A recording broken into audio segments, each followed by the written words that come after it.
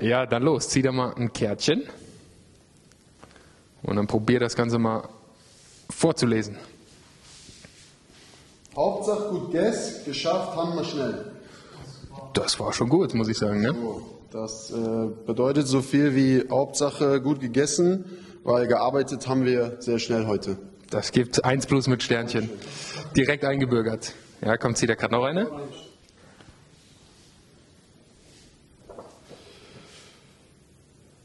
Grad Selez. Das. Ich habe absolut keine Ahnung, was das heißen soll, um ehrlich zu sein. Äh, war auf jeden Fall richtig ausgesprochen, Grazeläts. Aber was, was gar keine Idee? Irgendwas mit Salat?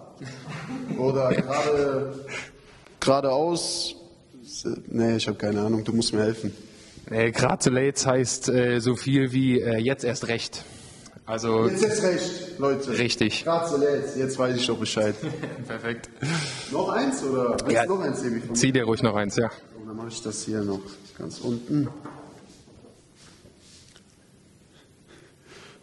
Macherwei kennen fiesen Matenten.